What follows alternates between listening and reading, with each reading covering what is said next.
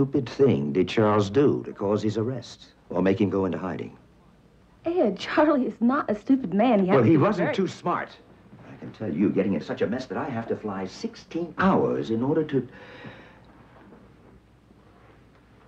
Sometimes I honestly think that that boy is incapable of doing anything. Except, of course, give idealistic speeches and write novels that'll never be published. Unless the entire disappearing act is a stunt to publicize his forthcoming autobiography. Well, why don't you just go home? I'll find my husband by myself.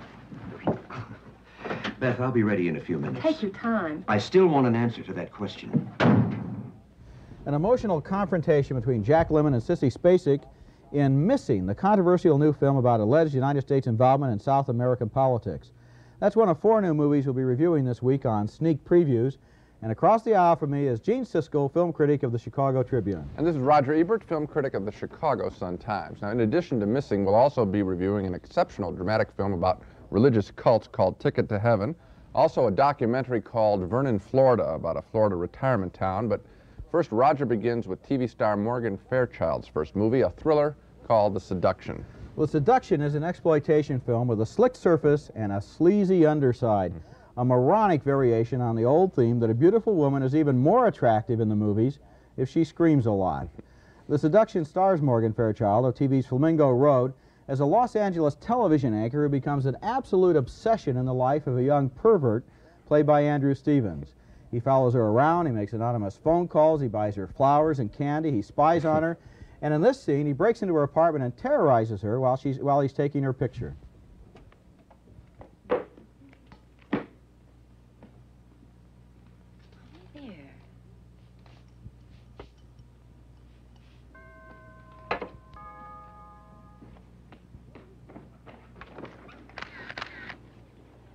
Jamie. What are you doing?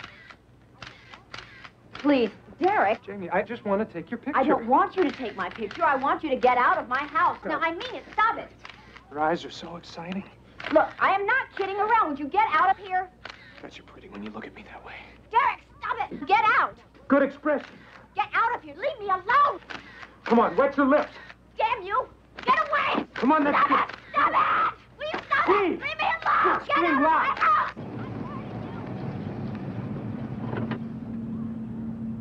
Go ahead. Get Scream. That's here. great. Scream I'm warning you. can. Damn you. Go get ahead. out of here. Get out Come of on, my scream. house. Get away. Stop it. Scream as loud as you Stop can. it. Come on, Jamie. me. Keep it up. Loud. Come on, scream. Leave me alone. Come on. Scream. Stop it. Leave me alone. Out. Get out. The end of that scene is especially ridiculous. Michael Sarrazin bursts in there, rips the camera away with one hand, throws it away, flattens Andrew Stevens with a right cross to the jaw. He looks like John Wayne, but then he lets the guy go mm-hmm. away. That's nothing. Later in the film, a policeman says, well, we'd like to arrest him, but he hasn't done anything wrong. That's for sure. If they arrested this guy, the movie would be over. Right. the whole movie is just that ridiculous. The filmmakers have avoided any temptation to provide personalities for these characters. The people in this movie are simply walking, talking Southern California lifestyles. They spend more time in the movie drying their hair and watering their plants than they do with each other, and it gets to be really boring the way that Andrew Stevens can so easily, always invade Morgan Fairchild's privacy. In this scene, he even infiltrates her TV news teleprompter.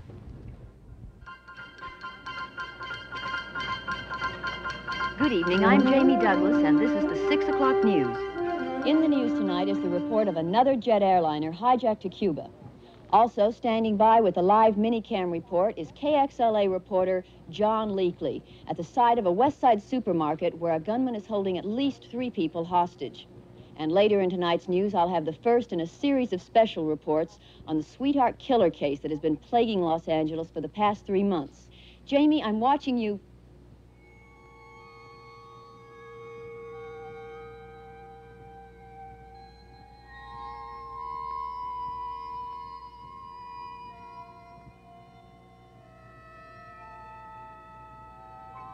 Him. Derek. Enough is enough. Morgan Fairchild is mad as hell, and she isn't going to take it anymore.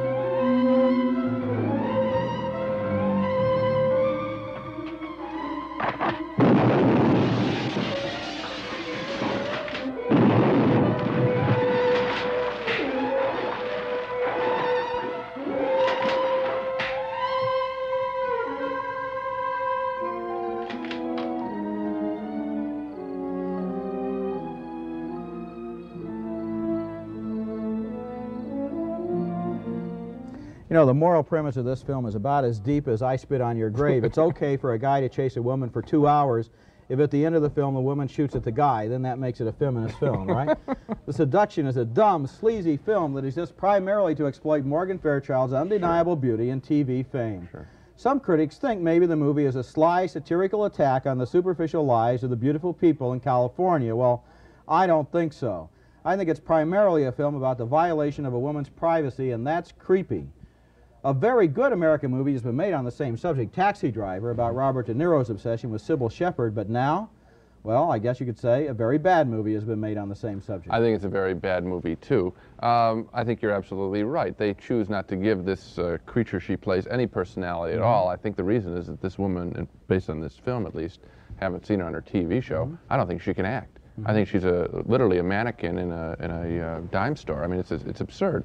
Uh, the other thing that I dislike so much about the film is this thing that we've called the idiot plot. Yeah. This movie could have been stopped at any point if anybody acted reasonably. Why doesn't she lock her door when the guy's chasing? She walks to the door, opens the the door. door open. An attack on California lifestyle. The California lifestyles have eight guard dogs in your front lobby. You know? And also, the key uh, person in the plot is Vince Edwards, who plays a cop who refuses to arrest the man. He hasn't done anything wrong. He's just broken in, terrorized the woman, kid, uh, uh, uh, eavesdropped on her, sent her notes, harassed her, but the police won't arrest him. It's a cheap women in danger picture, nothing more. You're right. Our next film is Vernon, Florida, a new documentary by Errol Morris, whose last documentary was Gates of Heaven, that film about the pet cemetery that we both liked so much last year.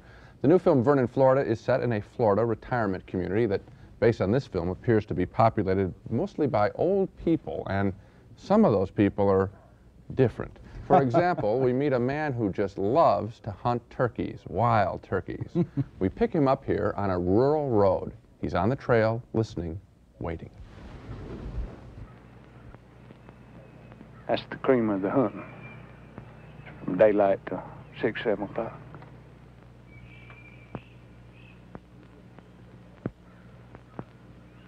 Then he's looking for a fresh track now. And if he finds a fresh track, he'll stop and listen or go in on it. That's what he's doing, walk, walking in and listening right now. Looking for fresh sign that's crossed graded road. Where there's smoke, there's fire, you know. Find a fresh track, you know he's gobbler there. Because this is a prime area for turkey.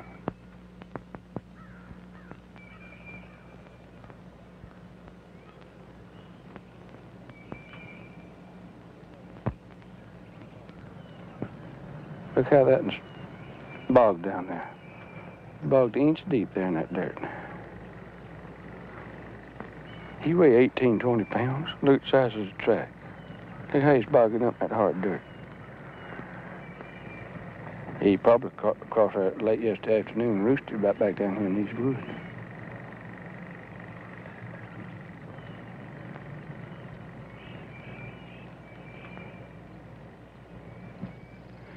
And if he's got a hen with him, it's very hard to call him away from that hen. You can believe that. Anybody tell you they can call a gobbler away from a pack of hens just any time? Do you hear that?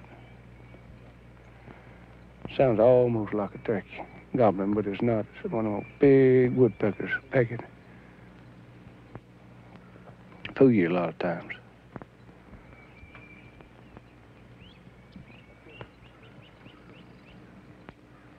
Occasionally you'll call a big gobbler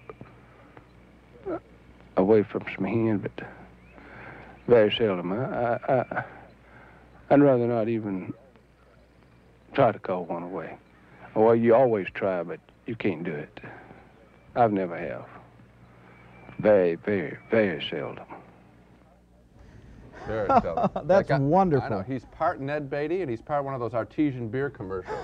Fabulous. As in that Pet Cemetery film, director Errol Morris gives us shots of people alone talking to the camera, talking about everything from God to turtles to possums to one old gent who talks about the four parts of the human brain, which allows him, he says, to do five things at once. the characters in this film are unforgettable. An old man holding up a possum, a police officer pointing out a bullet hole that's in the upholstery of the front seat of his car. Big battle. And all these people have one thing in common. They have plenty of time on their hands, and so their minds have time to go over and over the same material, creating elaborate and special interests. For me, this film isn't as industrious as Gates of Heaven, isn't as memorable, but it is undeniably special. And there are parts of it I would see again right now. Just that scene again. Gene, you have spoken for me. I don't know how I could improve on that. I agree with you. This is a marvelous film. Hmm. You know what depresses me? You know and I know that very few people are ever going to have the chance to see Vernon, Florida. It's just not the sort of thing that exhibitors play. Right. And there are probably at this moment a thousand or fifteen hundred prints of that terrible Morgan Fairchild movie playing all over the country, I know. unsuspecting people paying four bucks to be bored out of their minds. This man, this turkey hunter, is so human, so fascinating. Do you hear that? Mm-hmm. You know that it is just so much more. There's so much more life Right, there. absolutely. I think that's the challenge. Uh, here we're declaring ourselves. Uh-huh. I would rather see a guy talk about turkey than Morgan see Fairchild uh, blow away bath. some guy. Uh, not about a bath, but blowing away some guy in a, in a stupid scene like that. Yeah. Okay, we agree on that. Our next movie, Ticket to Heaven, is a riveting and absolutely absorbing movie starring Nick Mancuso in a strong performance as a young man from Canada goes down to California in search of an old friend. a friend who has joined a young people's religious cult that is never named, bears a great deal of similarity to the Moonies. In this scene, Mancuso arrives at the group's headquarters and is, uh, is greeted with smiles and open arms, a cheerful invitation to dinner. It all looks terribly innocent, but it's the opening wedge of a brainwashing.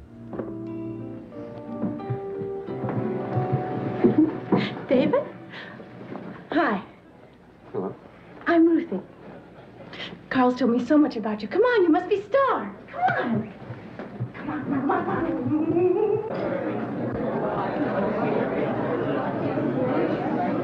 Well, what do you think?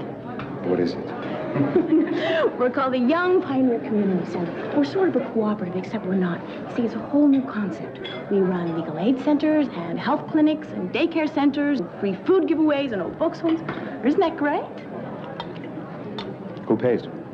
Well, we have all sorts of companies to deal with that. We are 100%, 100 self-supporting. All in seven years. Isn't that fantastic? A day or two later, Mancuso's indoctrination begins at the group's isolated farm. Exercise time, oh boy, come on! Let's go, David! Oh, okay, but you gotta hurry or we're gonna miss the best part. You see, we got this terrific new way of doing them. Come on, or we really are gonna miss the best part. Come on! Okay, everybody, how about a toast? Yeah! Okay, for all you new people, the tooch is like our private cheer. Are we ready? Yeah. Yeah. And...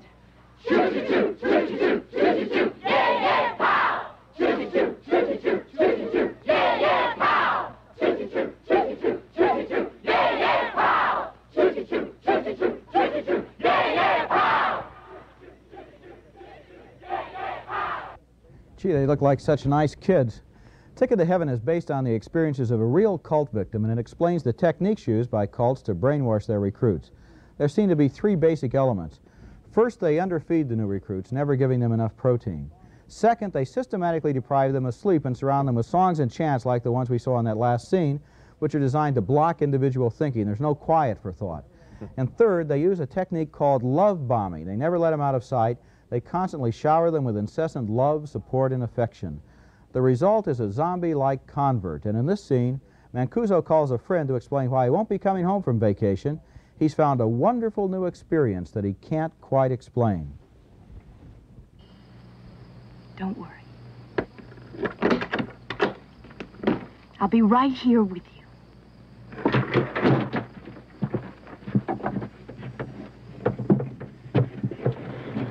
Management fees, thirty-six hundred dollars. He says his name is David Car delivery, twenty-four hundred. Advertising, Gentlemen. bank charge. Mr. Stone, I'm gonna have to take this, okay? Okay. I'll be right back. Sorry.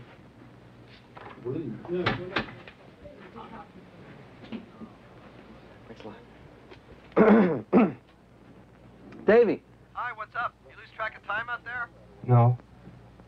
Look, uh, I'm not coming home right away. Uh-huh. What's her name? It's more important than that, Larry. It's the greatest thing that's ever happened to me. Yeah? Like what? I can't describe it, really. I, not really. You have to experience it to know what I mean. Anyway, I'll be staying here for a while, and You, David, how long are you talking about? I'm not sure. Look, um, I, I gotta run now. Uh, I'll phone you in a few weeks. Davy, Davy, uh, have you told your folks about this? They're in Florida, and I lost their number. Could you, uh, no, uh, I'll call them when they get back. I gotta go now. Bye. Wait a minute. You're going to make a wonderful heavenly child, David. It's remarkable the transformation Nick Mancuso undergoes in this film from a normal young man to an empty-eyed, haunted, emotionally drained robot. He's totally out of touch with what he really believes and feels. This movie is so effective, though, at communicating the sugar-coated brainwashing techniques of this group that there are actually times when the cult looks like fun even to us. It's scary. The film's ending reflects that ambiguity, leaving it very much in doubt whether this guy is going to choose freedom or regimentation. Ticket to Heaven is one of the best movies I've seen in the last year, but it hasn't had a very good distribution around the country, and if you can find it playing anywhere near your area, I think it's worth seeing. I do too. Um, I think that the achievement of this film is remarkable, and mm-hmm. that is, for a relatively inexpensive movie, I would think, this film is absolutely convincing in the portrayal of the cult. The mm-hmm. cult scenes mm-hmm. there seem dead on and scary. For the first time, I was able to understand how people could get Yes. involved in something. I always wondered before, how do these ordinary people go off and, and, and get in, you can see. You can see the groups? appeal. They form uh, fellowship and friendship for people. They give them very simple tasks to do. These mm-hmm. a lot of these people are burnouts in the real world. Mm-hmm. So they sell flowers. They sell books, and it's very easy. And mm-hmm. they put them on this mission. Good guy, a world. Good guys, bad guys. I mean, them and us. And it's very appealing. My only fault with the film, and it's not an, a small one, is the last half. The battle for his soul is not very well done with his friends and family trying to save him and pull him out. That stuff's a little cornball. The first half of this film, though, is as good a horror film in a way Yeah. as any I've seen. I think maybe the problem is the last part of the film involves words and ideas, and the first part of the film involves experiences that we Very can really much so. identify Emotion, with. absolutely. Mm-hmm. Our next film is Missing, a fine political new thriller by Konstantin Costa-Gavras, the director of such superior political films as Z and State of Siege. Costa-Gavras' main targets in his films are people and political regimes who support repression, and his targets have been located in such countries as Greece and Uruguay. This time the location is a mythical country in South America that we know to be Chile. The story, which the film claims to be a true one, is based on the disappearance in the early 1970s of a young American man who was writing for a left-wing underground newspaper in Chile, and he disappeared only to be later found dead, apparently murdered. The film alleges that the American government was in some way responsible, allowing his death to occur with its knowledge, that our embassy officials simply allowed the young man to be taken away and shot. The film opens with that young man and a woman friend talking to another reporter about some peculiar and menacing things he's seen in his travels around the country. You know, I don't understand. There's nothing here. Now, they told us in Vina that the military were executing thousands of people here. There's nothing. When were you in Vina? We just got back yesterday. Want to hear something strange? Our hotel was full of American military officers. I'd forget about that.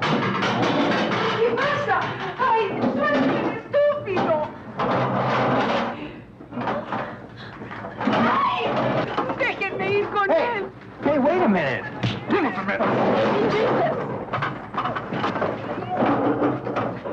Déjalos, son americanos. Are you okay? I'm all right. For God's sake, why did you do that? I don't know. Just. I don't know. Listen, both of you, forget this and forget Vina. Find yourselves a safe place, a, a hotel with lots of people around. Just hole up there until you can get out of here. The implication in that scene, of course, is that the U.S. soldiers were there to topple the government, and that, of course, that is based on real-life allegations of U.S. involvement in the fall of Salvador Allende in Chile and his replacement by the military dictatorship there. The movie Missing takes another turn after the young man disappears. His father, a successful American businessman played by Jack Lemmon, decides to fly down to the country to personally lead the search for his son. When he gets there, he meets his son's wife, Sissy Spacek, and together they visit the U.S. Embassy to plead for help. You have all the connections. I'm a middle-aged businessman from New York City. I don't speak one word of Spanish. Here I am. My son may have been shot. Maybe he was tortured. Maybe he was, oh Lord, beaten so badly that they're keeping him until he's well enough to be released. I don't know. I don't care. Oh, really, I don't care. Because what is done is done. I just want you to reach those people and tell them I will take Charles back in any condition. I'm not going to make a stink. I'm not going to go to the newspapers. You make out any kind of a release form, I will sign it.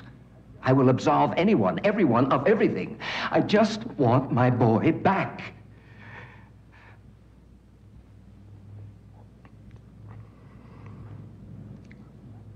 He's the only child I have. You think that prisoner in the other Not getting any satisfaction, Lemmon decides to take matters into his own hands. What could Charles know that's so important? Probably what he discovered in Vina. You say you kept notes. Uh-huh. You still have them? Yeah, at the hotel. Damn dumb thing. You did that? The Making of a Radical. I like Missing for a very simple reason. It does an excellent job at showing how fragile human rights are in a country that is undergoing political unrest. It can all change in an instant. Suddenly, there are guns and tanks in the street, and people living in what looks to be the middle of a bad dream. And in visual terms, the street scenes in this film really do look like a nightmare. There's a mm-hmm. great scene where one of the characters turns Yeah. a corner and the mm-hmm. street's ablaze.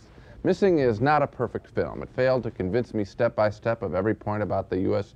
government and what it may have sanctioned. But this film unquestionably delivers at least one truth that freedom can disappear in a flash. I'm basically in agreement. I mm-hmm. admire the film. I recommend it. On the other hand, I think it could have been a better film, and I'll tell you why. Costa Gavras, in this film and in other films that he's made, is in love with this device of flashing back to various versions of what may or may not have happened, the mm-hmm. mystery they're trying to solve. I think if this story had been told, starting with the disappearance of the husband, then the wife and the father are trying to solve the mystery, and it had been told straight through in linear terms, it would have been stronger, but the director distracts us from that human drama mm-hmm. by cutting back to his versions of, of the mystery, of the disappearance. I think you're right. The, the narrative is powerful. Why Mm-hmm. not follow it straight across? I have a quibble with Jack Lemmon's performance. Sometimes there's some of his hesitation hitches in his voice that remind me of the Hollywood Lemmon rather than the character of this businessman. At the same time, you know, what we know of Revolution is pretty much evening news material, Mm-hmm. people screaming in the streets. This film really brought it a little closer in the way somebody can, as we saw in the scene, lift it out of a restaurant. It was very interesting. I'll tell you one thing that's nice about the film. Instead of only being a political melodrama, it was interesting the way they developed that relationship between Sissy Spacek and Jack Lemmon. They're suspicious at the beginning. At the end of the film, they respect each other. That's nice. Well, now here he is, Sparky the Wonder Dog, signaling a change of pace. This week, rather than bad movies, we want to spotlight a new Academy Award category that will be coming up in this year's Oscar presentation, March 29th. The category is Best Makeup, and there are only two nominees. Roger, you go first. Well, makeup has always been one of the basic tools of the actor, and in recent years there have been amazing technological advances in the whole field. Advances that have tended to blur the distinction between makeup, which is essentially any means of altering the appearance of a human actor, and special effects, which create a whole new reality out of pure illusion. One of the masters of this developing field is a young man named Rick Baker, whose credits include King Kong, and who was nominated this year for his work on An American Werewolf in London. Here's an example of his work. The scars on the face of this helpless actor are makeup made with foam rubber, paints, and dyes. And this hand is makeup, but after they cut away to the actor, they cut back to a special effect, an artificial mechanical hand that stretches itself into a werewolf's paw. Hmm. And here's great teamwork between makeup and special effects as actors undergo a transformation into fearsome imaginary beasts. Rick Baker's name may not be very widely known, but his werewolves certainly are. Mm-hmm. The other nominee is Heartbeeps, an absolutely miserable comedy about two robots who meet and, surprise, they fall in love. The film stars Bernadette Peters and Andy Kaufman as the pair of mechanical robots, and the only interesting thing about the movie was the makeup by Stan Winston. I want to say something that may be a little bit controversial. I don't think this category should exist. I think it's too small a specialty. Witness the fact that there are only two films apparently worthy of nomination. I think the way the Academy ought to operate is just give out a special Oscar if the makeup is extraordinary. You know, one question I have is, does the makeup have to be of werewolves or robots in order to qualify? What about ordinary makeup, like the transformation of Faye Dunaway into Joan Crawford? That was well done, too. Good point. Let's move on now to recap the main movies on this program. Two big no votes for The Seduction, starring Morgan Fairchild as a woman in danger. We both feel this movie was a sleazy exercise in voyeurism. Two yes votes, though, for Vernon, Florida, mm-hmm. Errol Morris's strange and fascinating portrait of a small town eccentrics. We also agree on Ticket to Heaven, the riveting, dramatic story of a young man's indoctrination by a religious cult. Two yes votes on that one. And finally, two yes votes for Missing, starring Sissy Spacek and Jack Lemmon in the dramatic tale of a missing American and the alleged cover-up by the U.S. government. We recommend that with some reservations. That's all for this week. Join us next time on Sneak Previews for more new movies, including Das Boot, a World War II adventure film about Nazi submariners, also Porky's, a teenage sex comedy, and the murder mystery Death Trap with Christopher Reeve and Michael Caine. Until then, we'll see you at the movies.